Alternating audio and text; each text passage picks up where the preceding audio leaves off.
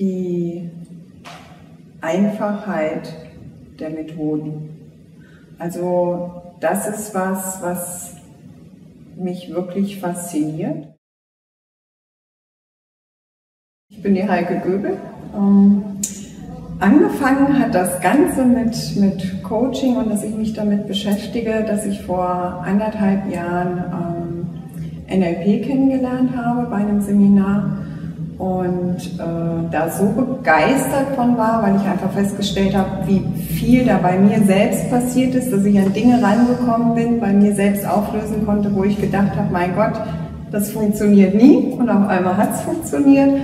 Dann war ich total begeistert. Und ähm, weil ich drei Kinder habe, habe ich natürlich dann auch gedacht, hm, vielleicht gibt's noch was, weil ich habe einen Kursen, wo NLP eher für Erwachsene war Vielleicht gibt es da noch etwas, wo man mit Kindern mehr machen kann. Meine Kinder sind zwar inzwischen erwachsen, aber ich habe gedacht, wenn ich das jetzt für meine nicht mehr machen kann, dann kann ich das ja vielleicht anderen Eltern zeigen, wie die so ein paar Klippen leichter umschiffen können, die halt einfach automatisch, wenn man Kinder hat, einfach auftauchen. Und äh, ja, ich denke, dass ich mit dem IPE jetzt eine Variante gefunden habe, wo das wirklich geht.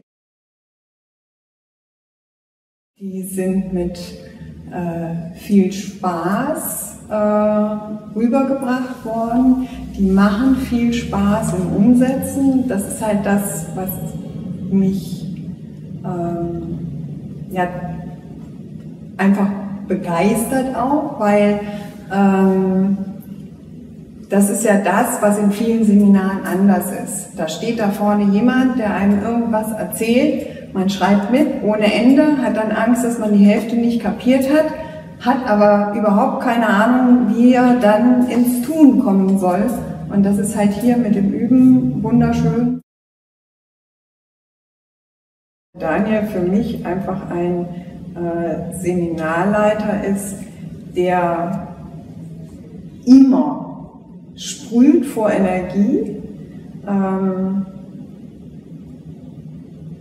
einen unglaublichen Humor hat, der sehr plastisch mit seinem ganzen Körper, seiner ganzen Mimik äh, einfach präsent ist und spielt und macht. Und es ist nicht möglich, äh, ihn nicht äh, ihn nicht zu mögen, ihn, ihn, ihn ja, wie soll ich sagen, in manchen Seminaren ist das ja so, wenn da vorne jemand ist, irgendwann wird man dann so ein bisschen müde ne? und dann äh, ja, fallen die Augen zu und ich muss sagen, das passiert nicht, weil es einfach Spaß macht, ihm zuzuhören, Spaß macht, ihm zuzuschauen.